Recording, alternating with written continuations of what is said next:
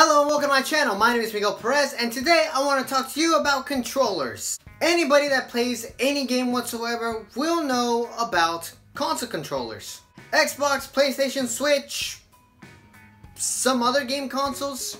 I can't think of all of them. And in the world of controllers, there are several. But some controllers offer a lot more than other controllers. The most famous company is Scuf Gaming. For those of you who don't know what Scuf Gaming is, Scuf Gaming is a company that is known for their Scuf controllers. Scuf controllers are special controllers that have paddles on the back of them that can be remapped to any button. This can give you an incredible edge in any game whatsoever. I would show you what a Scuf controller is and looks like. Unfortunately, they do have one weakness. I take that back. They have multiple weaknesses. The first one being that they break down very easily. Two, they are extremely expensive. And there are other companies that manufacture Pro controllers. Every single Pro controller is gonna have the exact same weakness, and that is that they are not in the price range of everybody. So, what exactly can I do if I don't have a Scuf controller? Well, I have two options for you. The first option, which can be kind of a culture shock to some people, is to switch over to mouse and keyboard, which is literally just gaming on a regular mouse and using a keyboard as your main controller. And the cool thing about it is that although you can spend a little bit of extra money to get a nice mechanical keyboard and a lightweight mouse, in theory you can just buy the cheapest mouse and keyboard that you can and just game like that. That is, if the console can register it. Let's say you don't want to use mouse and keyboard. You still want to use a controller and you want that same edge. Well, there is a way to get the exact same gaming performance from a Pro controller just by using a regular controller. And that is the claw grip. You're probably going to be thinking one of two options.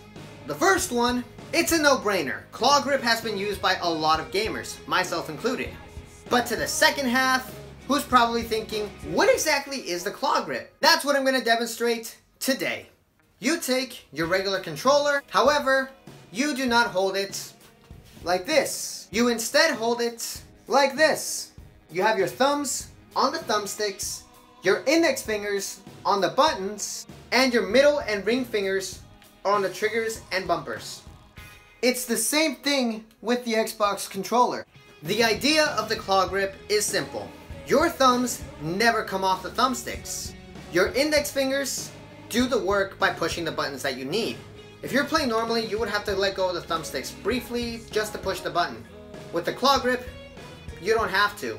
The claw grip is very, very, very useful, especially if you're playing online matches. That split second that you would have wasted letting go of one of the thumbsticks, you can save that split second just by using your index finger and pushing the buttons. This does, however, take some getting used to. If you have never used a claw grip whatsoever, it is going to be a massive culture shock. When I first started using claw, I had no idea what I was getting myself into. I was constantly thinking, this grip it's not working for me.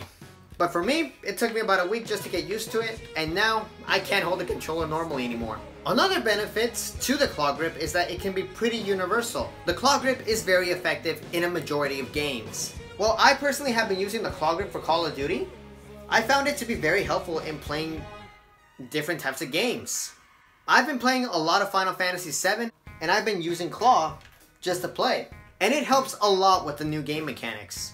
As for fighting games like Mortal Kombat, Smash Bros, Street Fighter, that's kind of a hit or miss. Now personally, I don't use the full claw when I'm playing games like that. I will instead use right-handed claw.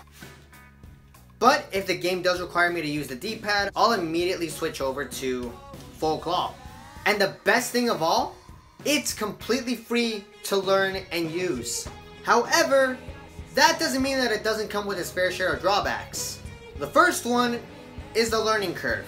As I stated earlier, it took me a whole week just to learn how to use it. The second downside is that after a while, your hands are going to start to hurt. Because you're using the controller in a very weird way, your hands are slowly going to start to hurt. It is very important for you to properly rest your hands and make sure that they're in the best shape. Something that has been very helpful for me as a gamer is just simply massaging my hands before and after I play games. Everybody has their own techniques, and not every gamer is the exact same. If something doesn't work for you, try doing something else. If you can't use the full-handed claw, try using right-handed claw, left-handed claw, the octopus grip, which I suck at using, or if you've gotten used to using it regularly, by all means go for it. You have a variety of options. And this is coming from a guy that games on both consoles. That's going to be it for today's video. I hope you guys enjoyed it and I will see you next time.